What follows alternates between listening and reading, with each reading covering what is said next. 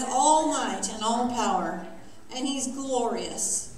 And the Bible says if everything else holds their peace, if we don't worship him, the very stones will cry out. Well, I'd be embarrassed if the stones had to cry out. All right, so let's stand, all right? And we're going to sing Almighty, Most Holy God.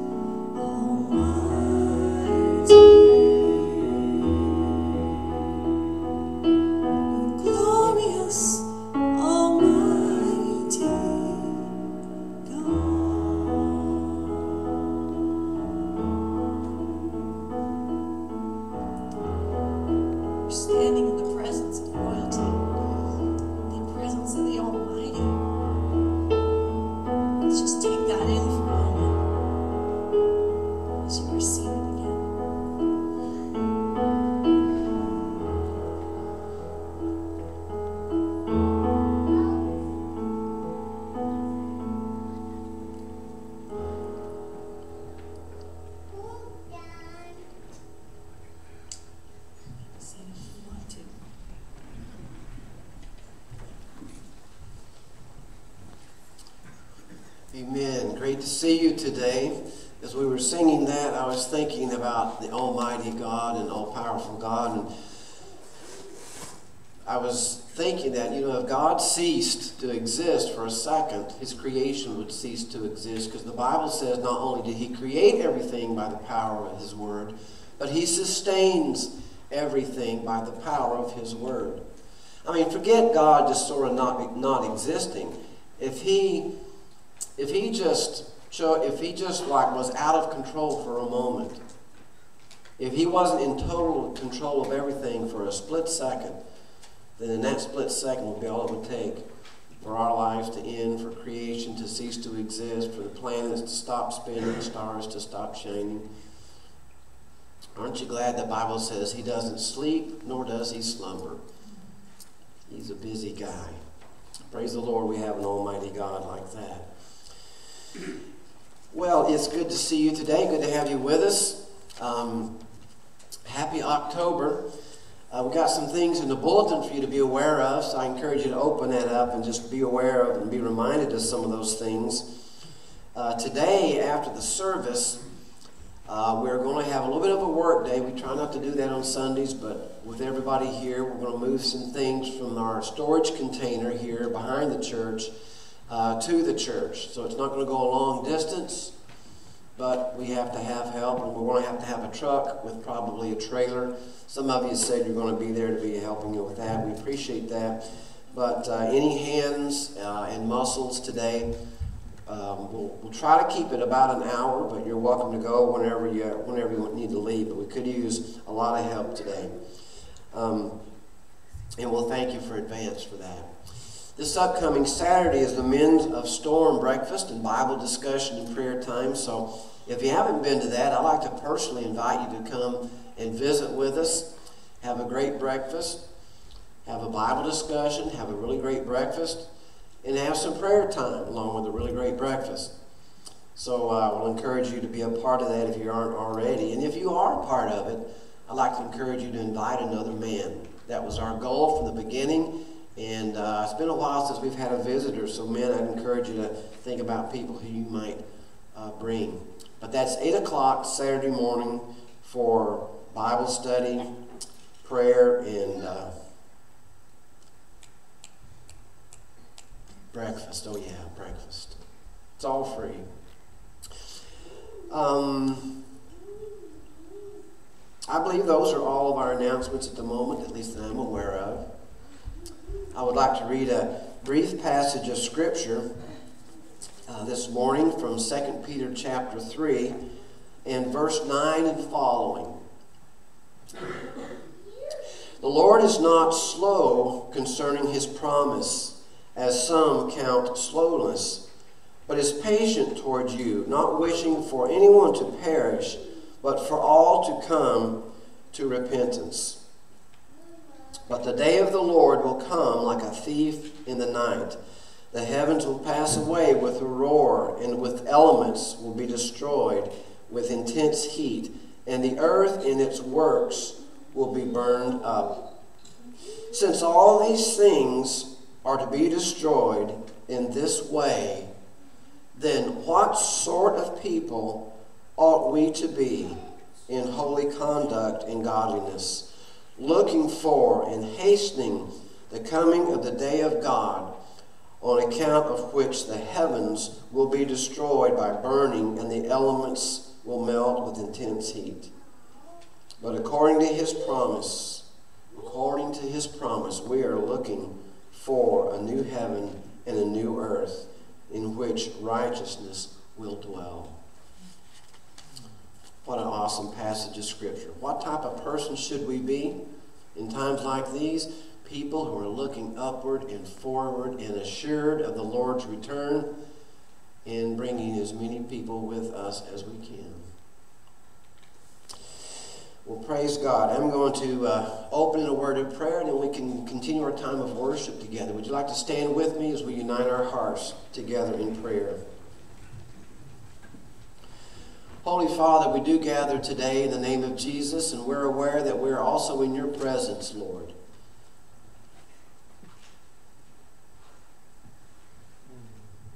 We are in the presence of Almighty God before we came in here, but collectively we just want to acknowledge the presence of the Lord. Lord, we ask that you be working. Holy Spirit, we ask that you be ask that you be moving in every heart today. Search our hearts, know our hearts and our thoughts and our minds. See if there be any wicked way in us, and lead us in your path everlasting. Lord, see if there's anything that's distracting us from being the people that you've called us to be, to being doing the things that you've called us to be doing. Lord, we pray, oh God, that today as we sing these songs, they are, they are from our heart. It's our heart's expression to you, Lord the Almighty God, the all faithful God, loving God, just God, righteous God, benevolent, merciful God. We thank you for all the ways that we experience your presence daily in our lives. All the ways that you demonstrate your faithfulness, that you pour out your goodness day by day in our lives, Lord. And we thank you for it. Today, as we continue our worship, Lord, may Jesus Christ be rightfully exalted. In your name, amen. You might think that lifting up your hands is a holy roller thing, but it's actually a Jewish thing. The psalmist said, Lift up your hands in the holy place and bless the Lord. So don't be afraid to lift up your hands. If we all did it, then nobody would be self conscious, right? If you need to start right here, start right here. But the song says, We stand and we lift up our hands, for the joy of the Lord is our strength. We stand and lift up our hands, for the joy of the Lord is our strength. We bow down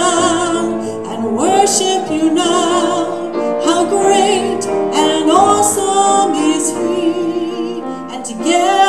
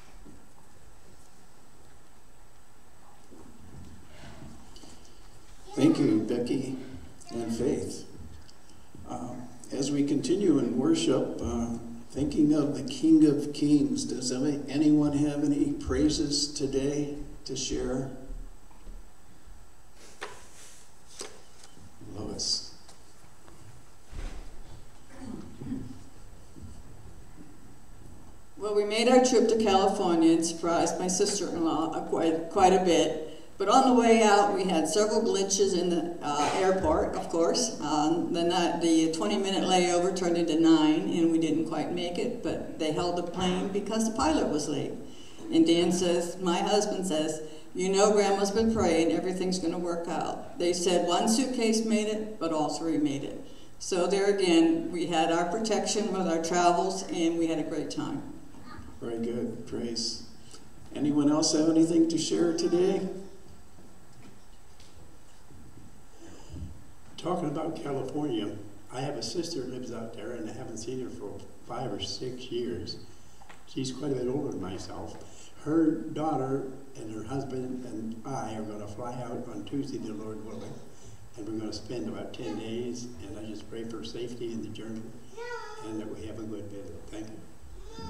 Thank you, Daryl. Pray for a good visit for you and no problems uh, like Lois had. Um, I just wanted to bring a prayer for Paul Stobie. He is um, staying at our house for a few days, but he's visiting different churches in the area, and some he's going to be in this area for, for two weeks, I think. And he said some of the people hasn't seen in like six years, so he's really looking forward to visiting with them and just be praying for him.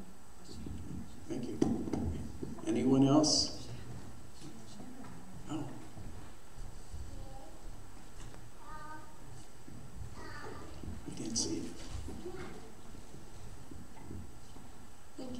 Um, I have a friend, her name is Jolene Miller. She's been to church here a couple of times, and two years ago she came and helped us with VBS. Um, last week, her dad started acting funny, um, and then one day he woke up delusional and he couldn't walk.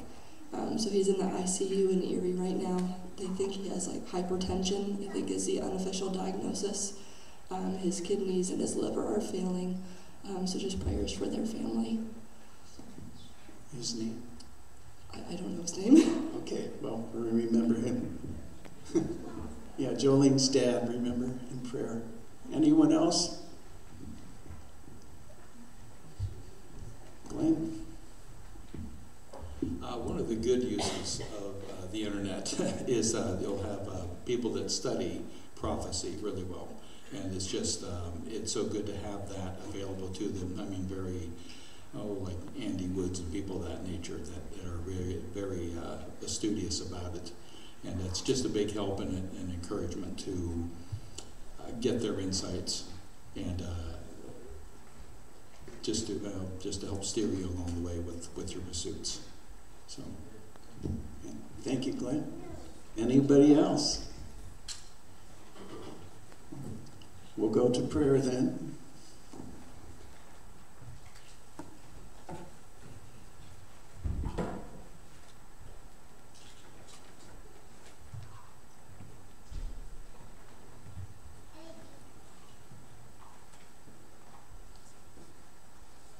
Oh Lord, we've been singing so much this morning about your holiness.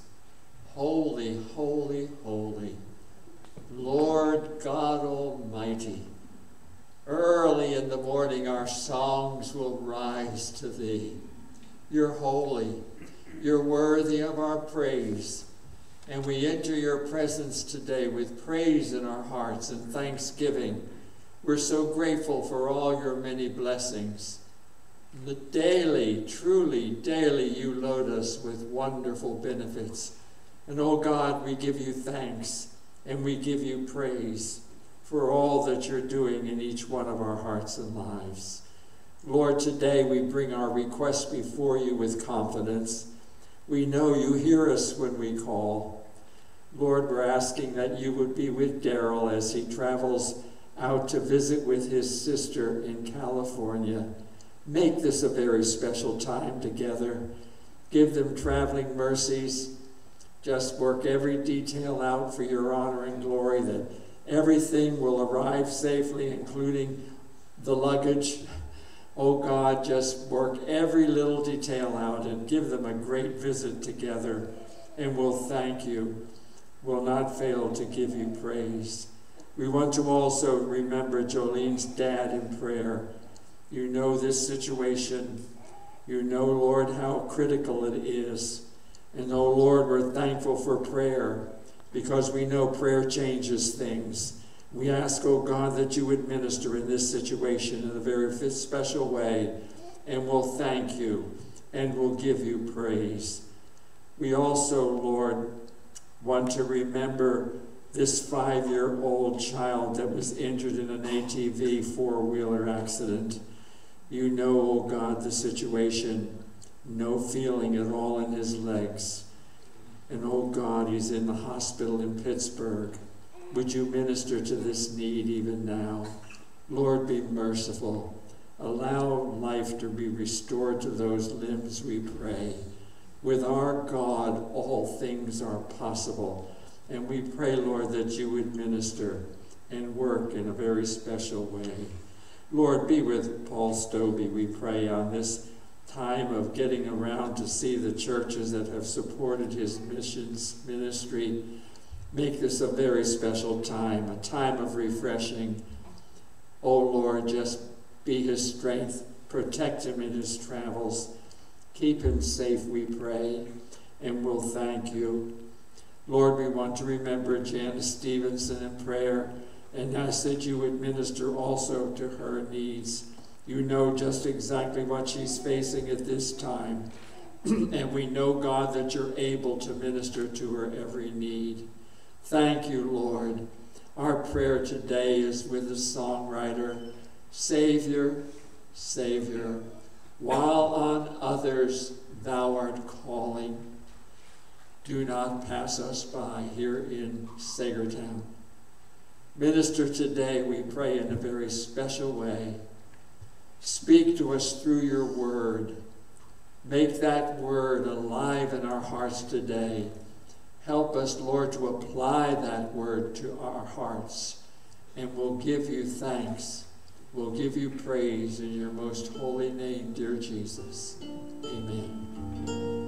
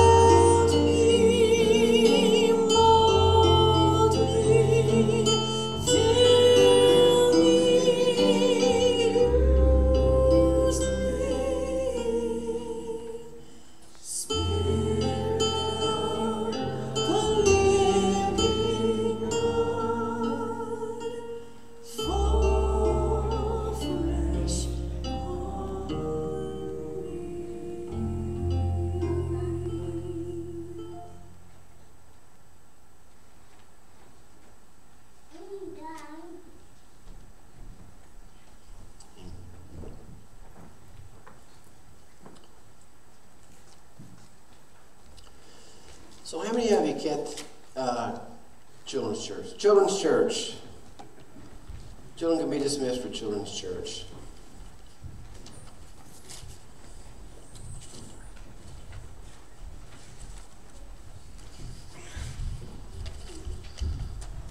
There they go. Now, back to my question. How many of you get the newspaper, printed form of the newspaper? You mean people still do that? Wow.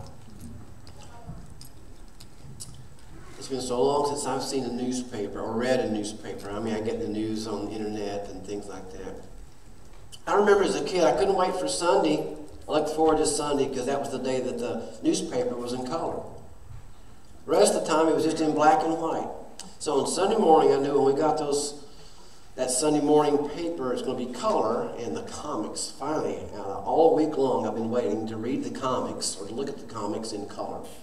I just never was, every day was a letdown for me because the comics were in black and white. But when Sunday got there, yes, I was a shallow child. Go ahead and say it. Jeff was a shallow child.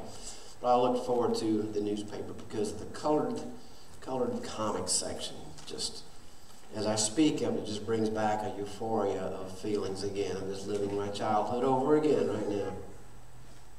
But imagine if you uh, woke up this morning and you had your Sunday paper and you opened it up, and the headlines was Glenn's life yesterday and the week before. Glenda, here's everything she did yesterday, last night, and that entire week. It's all in the paper. Headlines, front page. I mean, there's no comics. It's just Glenn and Glenda's. Glenn and Glenda. That wasn't on purpose. It was just Glenn's life, Glenda's life. Everything you did yesterday, everything you did before you went to bed. If you snored through the night, it was in there. Everything all week is in that paper. I tend to think if we believe that tomorrow our whole life is going to be plastered on the front page of the paper, we would tend to live differently today. Is it safe to say that? I think anybody in their right mind would, would probably would probably believe that. The history we make today is the legacy we leave for tomorrow. That's kind of our focus. It's a lengthy title, it's more of a principle than a title, but that's it. The history that we make today, things we do, things we say, how we act, how we respond, the, the history we make today is the legacy that we leave for tomorrow. Everything we did, everything we did, how would it change our life if we did that? The Bible says this. In 1 Thessalonians 5.11, it gives us this admonishment. Therefore, believers, encourage one another and build one another up, just as you're doing. Encourage one another and build one another up, just as you are doing. This lesson is going to be about basically uh, thinking through and being mindful of how we live and how we treat other people, how we treat others, and specifically how we treat God's people, other people in the body of Christ, or other, other Christians especially. How we address other people outside the church, but especially how we address one another, how we deal with one another within the church, within the body of Christ. I haven't, I haven't noticed any big glaring problems. This is just where we are in the book of Judges. God's people at war with God's people. It's a shameful time for, for in, in history of Israel. But we're introducing, uh, I'm sorry, introducing divisions into the church is a monumentally effective tactic that Satan often uses. Any amens on that? Amen. He knows his stuff. Introducing divisions into the church is monumentally effective. And Satan knows it works, and he keeps doing it. His attempt is to distract, sidetrack, frustrate, or defeat the church as we seek to be about the Lord's will and the Lord's business, which he has called each of us to. Because divisions within the body of Christ, within God's people, wastes spiritual life. I mean, catastrophically wastes our life. Discord stains our Christian relationships. Anxiety and animosity drains and exhausts us of ministerial energy. The wiles of the evil one sidetracks us, distracts us, and tempts to thwart the kingdom of God that we're involved in, his efforts. If he can alienate us from one another, then he will alienate us from our mission field. He weakens us. So every day we are faced with certain challenges or opportunities for discord and division. The question is do we swallow that bait? Do we bite the hook? instead of saying, Yes, Lord, use me, we probably wouldn't verbalize it, but we're saying, Yes, devil, get a hold of me. But the devil doesn't want us to know that that's his motive. He doesn't know that that works.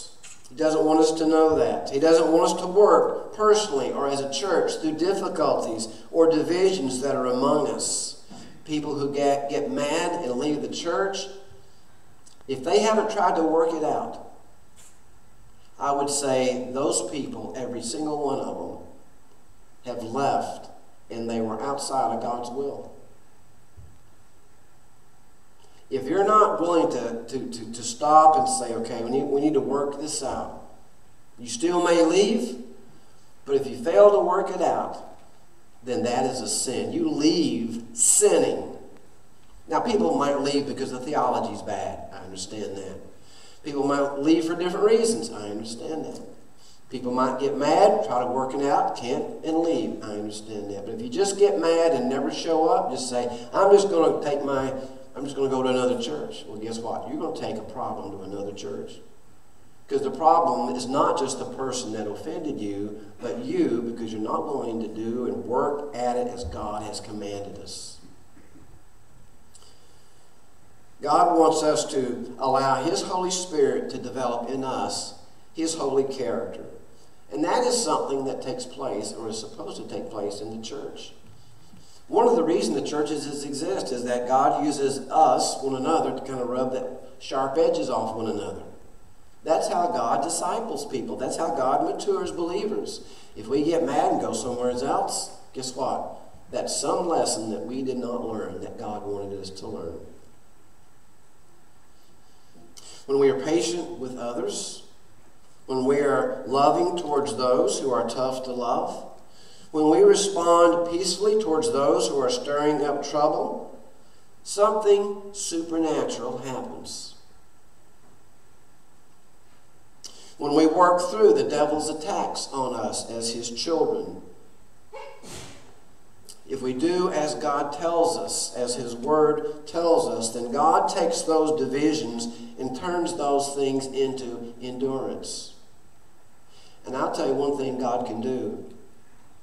If you can't get along with somebody, but you take time to and put forth the effort to work it out, there's a good chance that that person's relation, you that that person that you had that broken relationship with, once God mends that relationship, that will become one of the strongest relationships you have. Just got to be willing to go through God's plan to cause that change to take place. But when we work through the devil's attacks as God tells us, God takes the divisions and turns them into endurance. He takes the offenses and transforms them into perseverance. What Satan meant for evil now, God can use for good. What was intended to bring destruction, God molds into overcomers. And God takes adversity and turns it into victory. He can take the defeated and turn it into a conqueror. If we allow Him to. If we allow God to do that. That's what He wants to do. When God's people have strained relationships, when there's discord or division, it's the opportunity. It's the opportunity for all of us to grow stronger in our faith and for God to work through this and to make the church as a unit a lot stronger church. So, this is what God wants to do in the church. So, the history we make today becomes the legacy we leave for tomorrow. With every challenge that we face as individuals or as a church, we are either part of the problem or part of the solution. We have that opportunity to be part of the problem or part of the solution. I wish I could say this story had a happy ending. Turn to Judges chapter 12, and we're picking up again. I believe this is the last lesson that we'll have on Jephthah. J E P H T H A H. Several things are silent. Judges chapter 12, verse 1. The men of Ephraim were called to arms, and they crossed the Zephon and said to Jephthah, Why did you cross over to fight against the Ammonites and did not call us to go with you? We will burn your house over with fire. And here, Jephthah realizes that I think they're upset with me. They must, they must be upset with me. We will burn your house over with fire. Verse 2 And Jephthah said to them, I and my people had a great dispute with the Ammonites, and when I called you, you did not save us from their hand. And when I saw that you would not save me, I took my life in my hand and crossed over against the Ammonites, and the Lord gave them into my hand. Why then have you come to me this day to fight against me? Wow. So Jephthah attempted to avert war with the Ammonites. He attempted to keep peace, but they would not have it. Now, that's in chapter 11, if you remember that. He tried to make peace with the Ammonites. They wouldn't have it. They fought them. God gave them the victory. So here we see a little bit of an insight to the people of Ephraim. Ephraim, if this was this was what we believe to be the tribe of Ephraim, the people of Ephraim, but if this was one person, if this was a guy named Ephraim, we would have to say, man, I'm glad I only have one of these people in my church. Or Ephraim is a high maintenance person. High maintenance people are easily offended when things don't go their way. They complain and criticize plans, people, and progress while bringing discord, confusion, and frustration to otherwise positive environments and or relationships. So the people of Ephraim are upset that Jephthah did not include them in a recent battle and it's unclear if it was the most recent battle or another one because of some of the way this is put. But they did, he did not include the tribe of Ephraim in that battle against the Ammonites so that they not share in the glory. That's what it boils down to. Ephraim didn't get a slice of the glory pie. You went out there, you did a great job. People were hailing you, singing your praises. Why didn't you? Why, why didn't you let us go with you? We'd like some of that. That's basically what it boils down to. The people of Ephraim were very upset. A little bit of history about Ephraim. In Judges chapter 8, if you recall, Ephraim tried to pick a fight with Gideon. Why in the world did you do this? Why did you send us to do that? Why didn't you allow us to do this? And they were started picking a fight with Jephthah. And now we have Ephraim picking, I mean, with, with Gideon, now we have the same tribe or people group trying to pick a fight with Jephthah. Both instances, it seems that Ephraim failed to receive the limelight that they were looking for, or that Gideon or Jephthah sort of stole the, the center stage from them. I don't get the impression that they were expressing these concerns from the servant's heart that needed to be giving of oneself. Oh, I was looking forward to serving. I was looking forward to honoring. I was looking forward to. They're not looking for that. It seems more like they were praise seekers and wanted notoriety. So Jephthah attempts to keep the peace with Ephraim. He tries to talk it out. By the way, just a little bit of background. There are 12 tribes of Israel that we are aware of. Some, there's a lot of discussion, some think there's 13. But there's a, basically, that the traditionally in, in Scripture, there's 12 tribes of Israel. Each tribe are the descendants or the family, extended family members down the road from one of Jacob's sons. Every son of Jacob, who's known to be the father of the Israelites, every one of his sons became, their families, their descendants became a tribe. A tribe is kind of like a state in America. They would say it's not, but it's kind of like the United States of America. In America, we have Ohio, we have Pennsylvania, we have New York.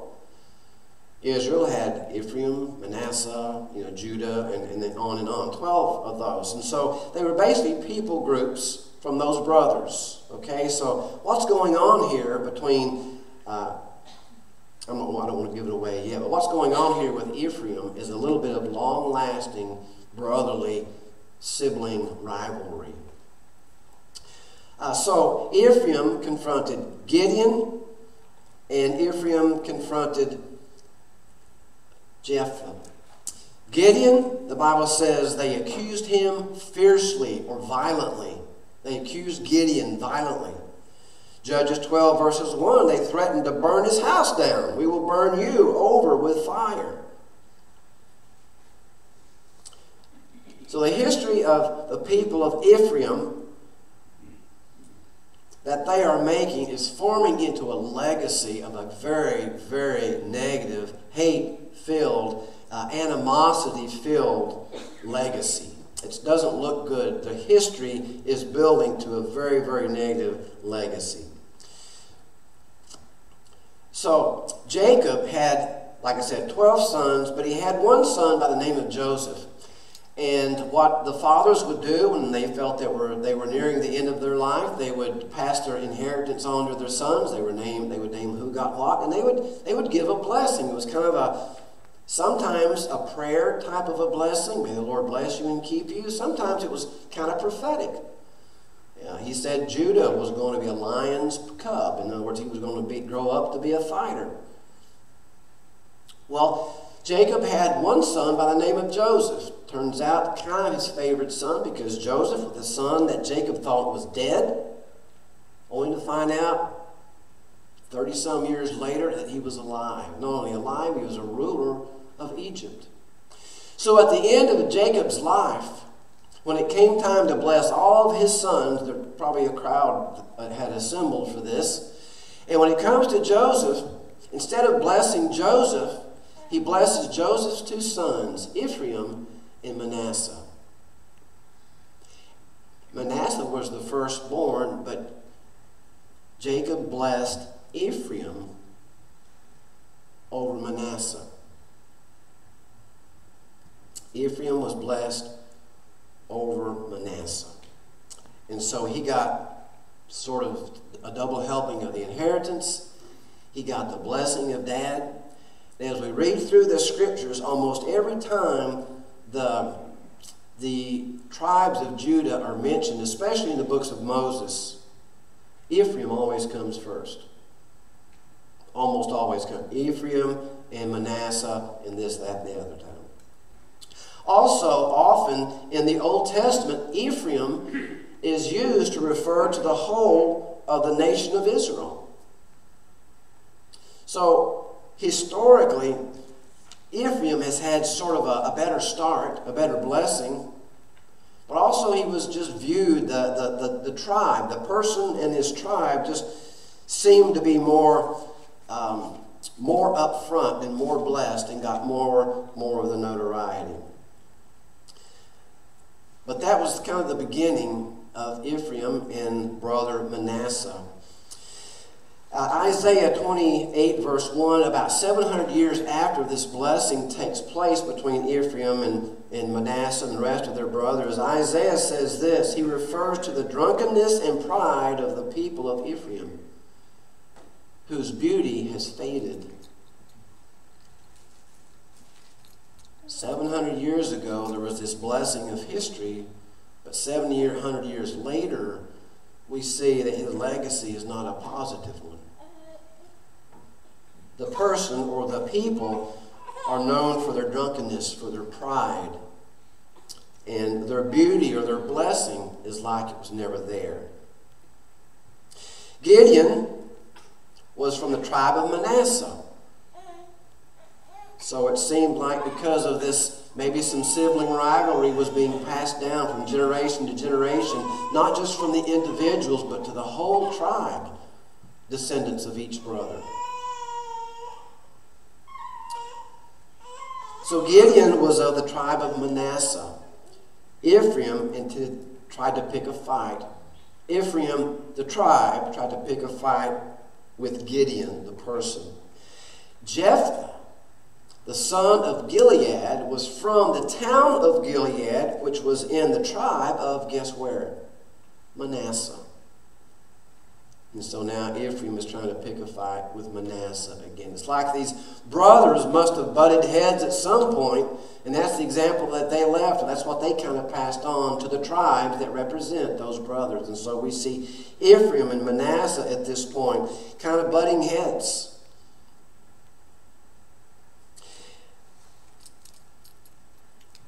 So the history we make to get today can become the legacy that we live, leave for tomorrow. And the history that we focus on today is not the history, the good positive history of Jephthah, but of the people of Ephraim. Not a few, not a brother or two, but of the entire tribe of Ephraim.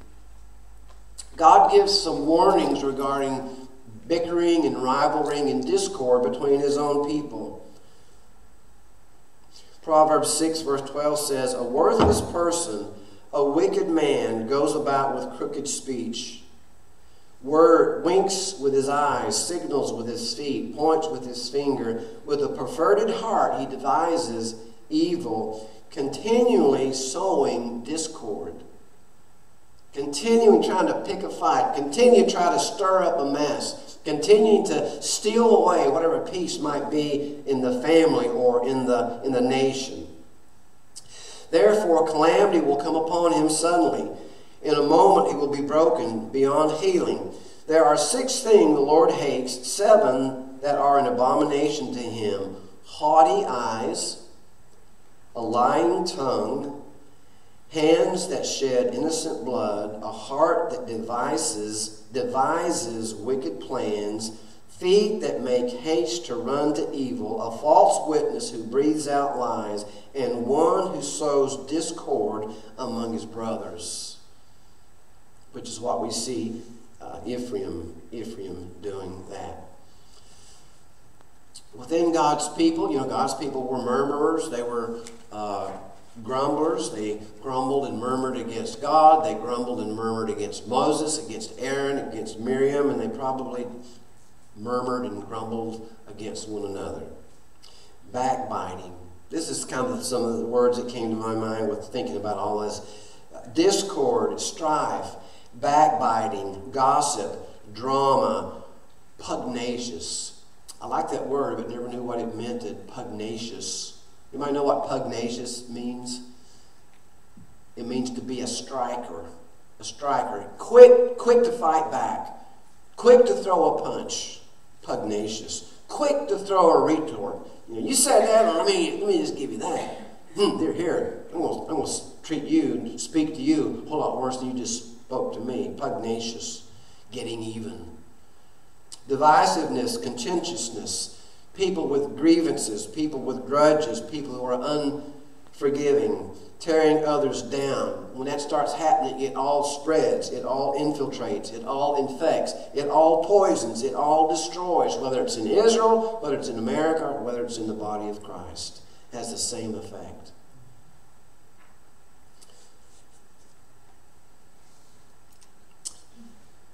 The truth is, any one of us at any given time, under any given circumstances, can be a pugnacious person. We think I can't. Yeah, I won't. Wouldn't happen to me.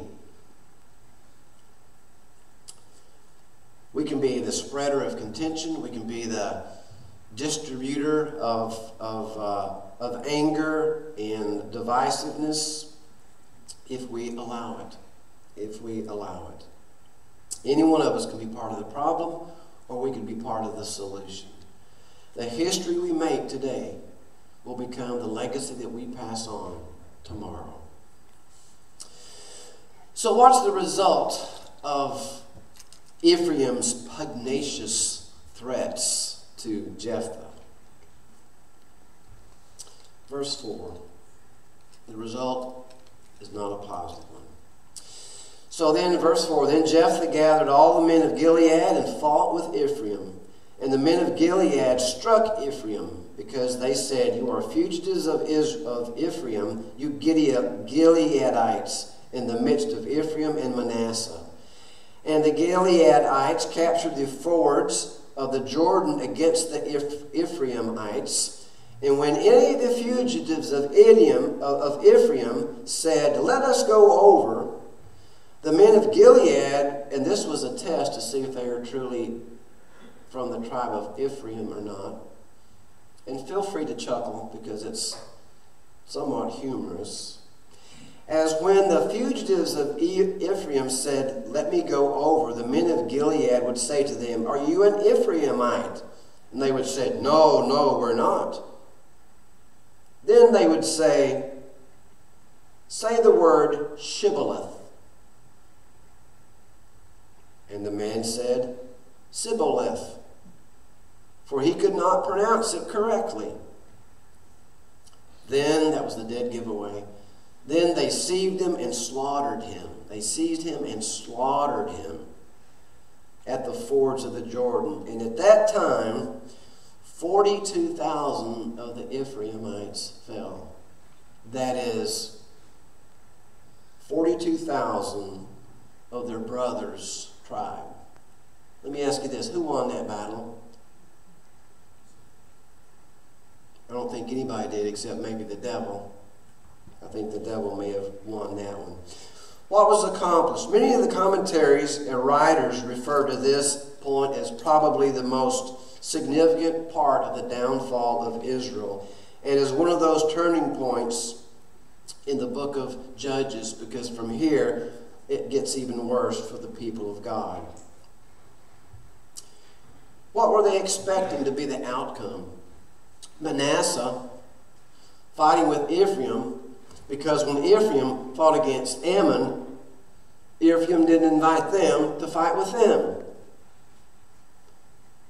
Imagine, imagine Pennsylvania to going, going to war with New York. And then Ohio declares war on us because we didn't ask them to come with us to declare war on New York. Doesn't take long to see that that all's going downhill in a hurry. Things are deteriorating fast. But that's what's kind of taking place. When God's people fight God's people, even their, even, even their culture, for that matter, the greatest concern is not who wins the argument or who gets their way. But the most important issue is who has now been alienated. Who has now been alienated. And for the Christian, for God's people, I think the most important question is our side winning? Are our issues being addressed? But what is our testimony? How is our legacy being passed on to the people that God's called us to reach? What effect are we having on those around us in our own mission field? So now let's think about a personal practical aspect of all this. You know, as Paul was writing this, he was writing to the church. And you read that, you read this and think they're kind of messed up too. When Paul wrote something to the church, if he says encourage one another, he says you're already doing that. But he, when he writes to correct something, it's because something bad is going on in the church, some sin that needs addressed. So in Ephesians chapter 4, verse 29 says this, it was, it was evidently uh, divisiveness, slander, gossiping, uh, insulting. Ephesians 4, verse 29 says, Let no corrupt talk come out of your mouth, but only such as is good for building up, as fit, and is fitting for the occasion, that it may give grace to those who hear. What if we, what if we stopped before we said a single word and thought,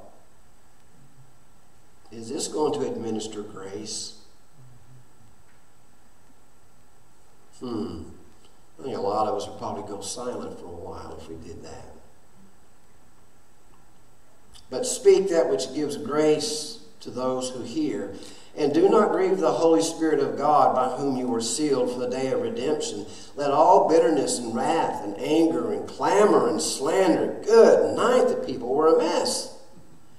Let all this be put away from you, along with all malice.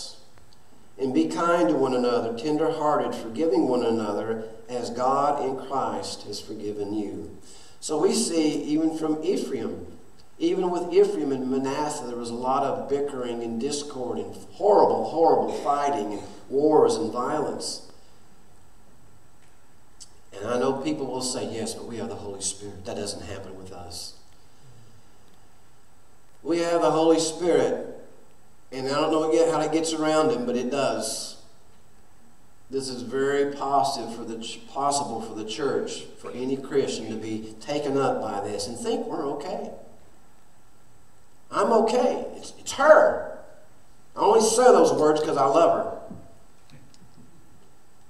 I had to point out their sins so that they'll, they'll repent. So Paul writes to address these issues, these issues in the church. And I ask you, what type of activity does the church, uh, does what type of problems does this activity bring about in the church? Words like that, feelings like that, animosity like that unforgiveness like that. It, it, it'll tear the church down. It'll tear people down one by one, brick by brick, like we're all a brick. And all of these words are just like a, a war and a battle that blows that brick out of the wall and destroys the foundation that that brick was a part of. The history that we make today becomes the legacy that we pass on tomorrow. Not only do those problems affect the church, but it affects the people that are watching. And what we might be tempted to think, hmm, so I need to I need to be careful about my speech and how I treat other people because I don't want people to think badly of me. Well, secondarily, yes, but not primarily. Ultimately, our legacy is not about what people will think about you or me, but about what the world will think about Jesus Christ, the Christian faith, and the church. You know, a person can go out to eat and be offended by the waitress. Maybe the waitress. I went had a, had a guy take me to, out to eat the other day uh, in Edinboro. The waitress looked like she had just changed somebody's oil. She had grease under her fingernails.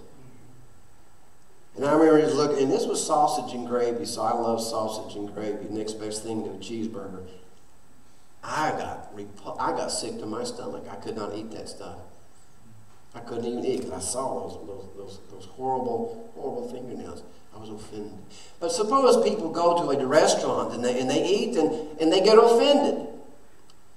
They don't leave thinking, I'm never going to go out to eat again as long as I live. They just find another restaurant, right? Nobody does that.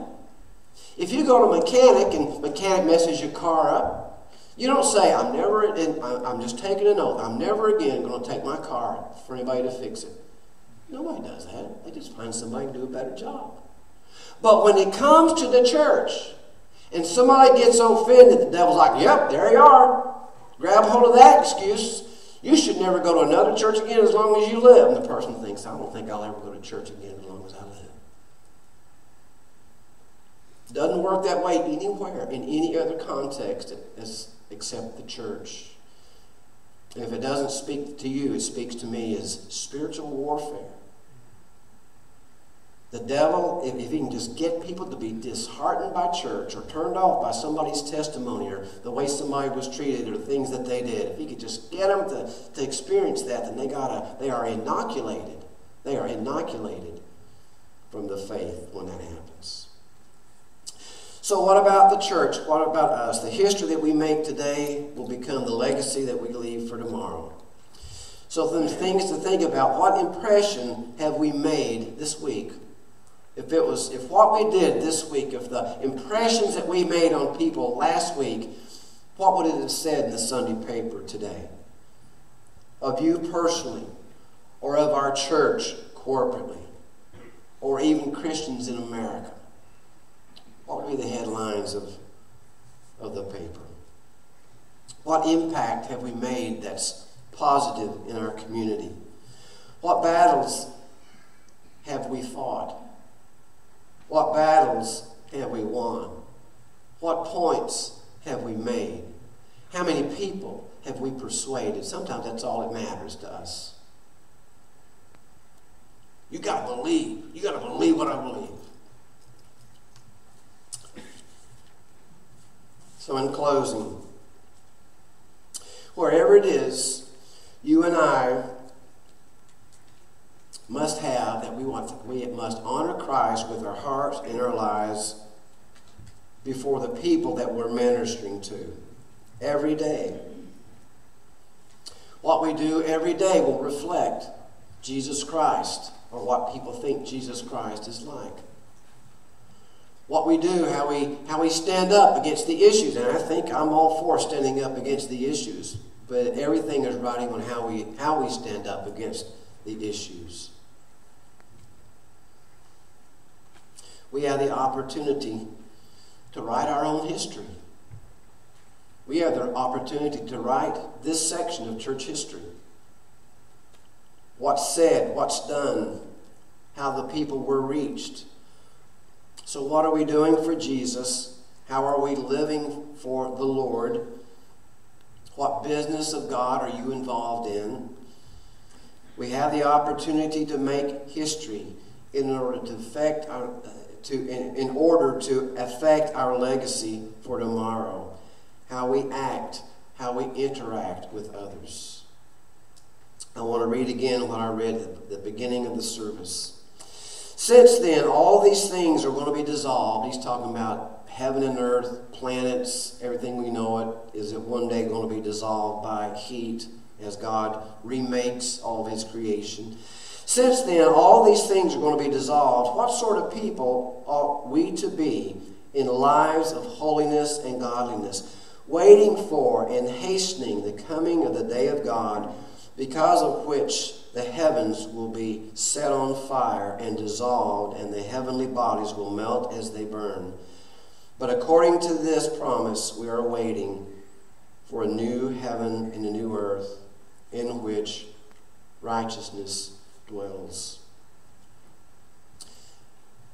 Unless we think that, okay, then everything will be great, everything will be great. Just think that as that consuming work of God at the end of the ages, at the end times. Think about the heavens and the earth passing away with fervent heat, being consumed by God's fire. Think about every soul that we missed for Christ. They will equally be burned up and consumed by the judgment of our God. So, as the church left its mark on America, have we here today left our mark on our communities, on your place of work, at the community center, in your school? Have we made the mark on our communities in Meadville and Edinboro and Saegertown, Crawford County? Will we be remembered by what we fought against or by what we declared to believe and look forward to? If we believe that the Lord is coming and we're looking forward to that great and glorious day, but we also believe that abortion is ending a child's life, if all people ever know about us is that we are against abortion, then we're missing the mark. If the culture only knows what we stand against and not what we stand for, we're missing it all things will be dissolved, including the souls, lost souls of our mission field. Will we be known for the wars we fought or thought we won, or by a life of holiness dedicated to our Lord Jesus Christ? Holy Father, as, uh, as we think about this, Lord, Father, we, we don't want to be like the people of Ephraim we don't want to be pugnacious. We don't want to be that to our community, to our mission field, or even towards certainly not to one another amongst the body of Jesus Christ. But Lord, we pray that you would protect us by your Holy Spirit. May your Holy Spirit convict us if we find ourselves taken in by these types of spirits as it starts and we involved in it. It's, it's hard to stop. It's hard to step away from that once we're involved in it. But Lord, we pray for that strength. We pray for that discernment. That we can recognize that and rather contributing to it, that we can just step away from it. Or speak words of peace. Use it as an opportunity to point people to the Lord. Because that's what it boils down to, Lord, the most important thing. I pray you to help us to be mindfully making our history today so that we might be effectively leaving a positive impact and legacy on the people around us. And we'll thank you and ask this in Christ's name. Amen.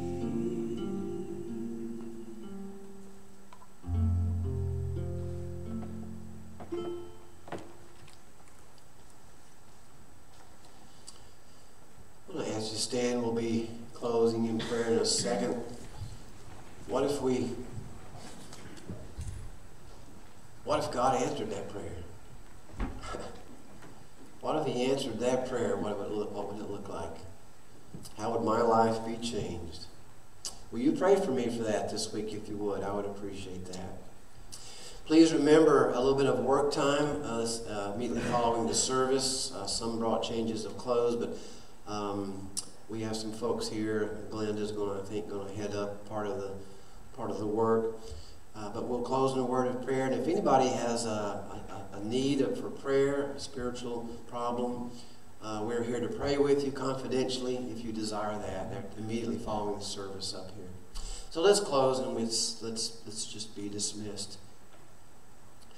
Lord, we pray that uh, as we prepare to go our separate ways, Lord, that you would dismiss us in peace. Lord, dismiss us with a sense of submission to your Holy Spirit, to guard our hearts, to guide our steps in our interactions with others both inside and outside of the body of Christ. But help us to especially live at peace with one another. Lord, that make that make that sends such a powerful message to the world around us. So help us with that, Lord. Help me with that, Lord, I pray. Lord, if I've sinned in that area, at times I've been frustrated or or disappointed or angry with another brother or sister, Lord, I just pray you'd forgive me of my sins, of those those terrible sins, Lord and for all of us, Lord. We want to be, we want to be pure vessels so that there's no hindrance between you and us that would hinder the eternal kingdom work that you want us to be involved in. And we'll thank you, Lord, in Jesus' name. Thank